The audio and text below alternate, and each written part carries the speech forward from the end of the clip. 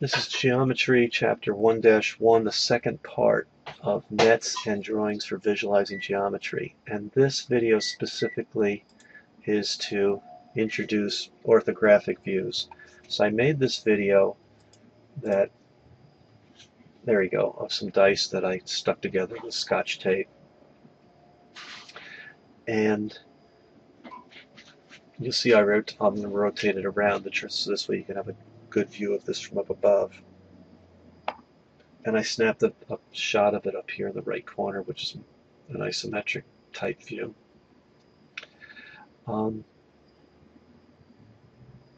so now we're going to focus on specifically looking at it from the front. And you get to see my great skills at holding a webcam. There you go. So now it's labeled as a front view and I'll rotate this around so that you'll get a left view.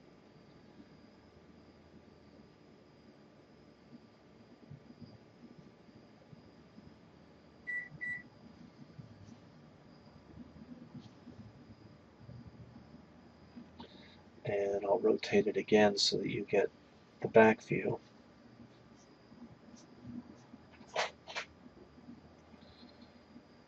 And then I'll rotate it again so you get the right side view.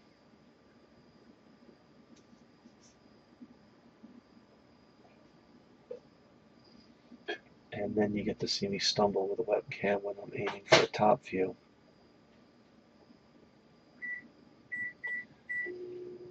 And you can see there that I watched Star Trek Voyager. There you go. And look at that high-tech labeling for a top view, just throwing a piece of paper there.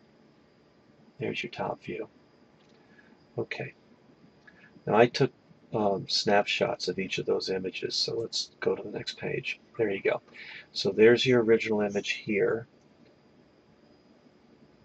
with the three-dimensional view here, and then here I'm aiming at specifically looking at the right and the front and the top.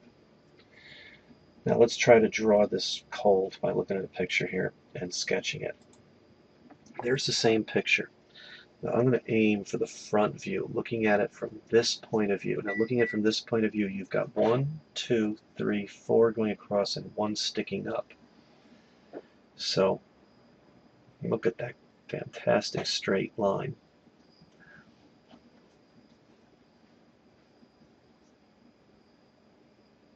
Right, and then we have one sticking up. This is the one that's sticking up. Now this this one here is the is the one that's bulging forward, but you have to remember, let's see if I can take that back. Yeah, a little bit. Okay. When you look at it specifically from that point of view in the front, you can't tell that that's projecting forward. But you can see that this part's sticking up. Now from a top point of view, let me erase my little arrow. Looking straight down. Keep it still oriented towards the front here. So we're looking at, looking across, we've got four dice.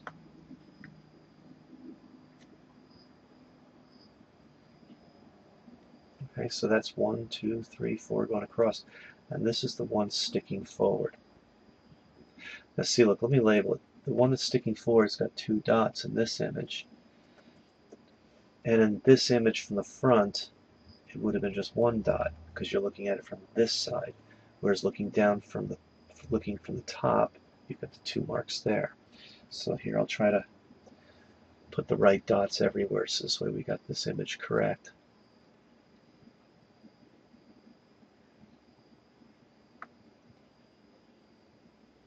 Wow. What a great job sketching, huh? Okay, so that's the top view. Front view, let's see, we've got four here. One, two, three, four. You've got two and four. See, there's the five on the top there. Okay. Um, okay, right view. Right view is looking at it from this side here. So you look at it that way, we've got four cubes there, one to the left and one up above.